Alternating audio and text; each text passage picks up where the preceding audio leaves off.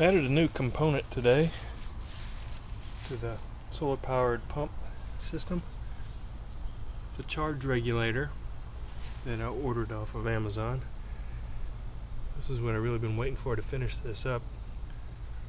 One side is connected to the battery and one side is connected to the to the pump and then the solar cell is connected right here with these alligator clips the actual battery is over here. I keep trying to keep it in the shade. I don't like to leave the battery in direct sunlight.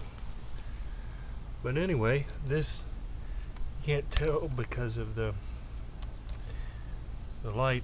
The the sun is really bright, but the uh, charging LED is lit, meaning that the battery is charging.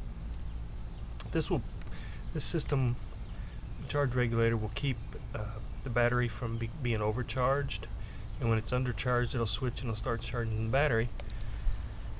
I would expect more of an overcharge because I'm not going to be using the pump as often but with this charge regulator I can keep the solar panel attached. This is all going to be self-contained eventually and I'm going to switch this solar cell out with a all weatherproof one that I can mount on the fence but so far the system has been working really well.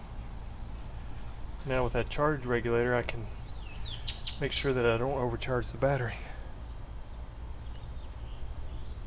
Hmm, it's a work in progress.